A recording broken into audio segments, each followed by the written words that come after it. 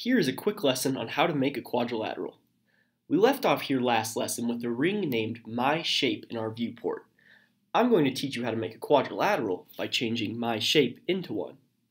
As you may have come to expect by now, the shape is created using the all caps and highlighted keyword quadrilateral.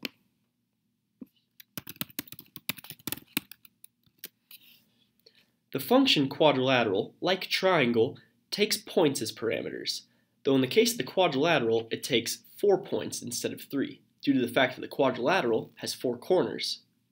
It takes them in the form of a comma-separated list. Let's put those points in the quadrilateral's parameters list, and then we can add values.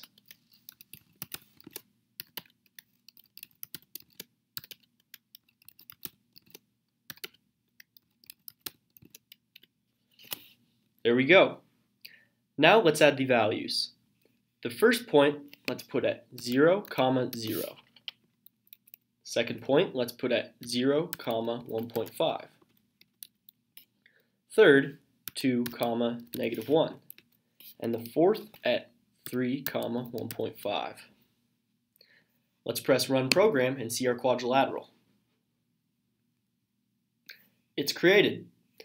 See, we have a corner at 0, 0, corner at 0, 1.5, a corner at 2, negative 1, and a corner at 3, 1.5. Play around and see what kind of quadrilaterals you can come up with.